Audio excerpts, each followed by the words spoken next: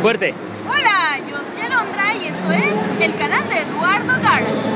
Este día desde Monterrey presentamos las cosas raras que hace la gente. Por ejemplo, nuestra amiga de Yanira hace esto. Hola, Deyanira. Hola, mira lo que puedo hacer. Wow. Pueden ¿Ustedes pueden? Pueden su codo. Nadie puede hacer eso. Ahora baila improvisadamente.